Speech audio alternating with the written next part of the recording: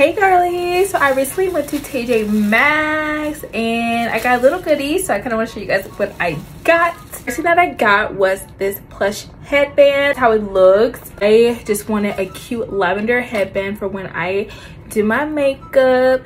So yeah. So oh dang this, this it's kind of low and i also got this. This was 4.99 supposed to help you relax. So your girl always be having a stressful day. So i need to learn how to relax. Y'all i saw this fenty beauty um highlighter duo. I got this for eight dollars. Shades that i got as well. I've always wanted this shade just because of the colors. Like it looks so beautiful. You guys see these? Beautiful. Oh oh i don't know if you guys want to see more videos like these because i love doing videos like this. So yeah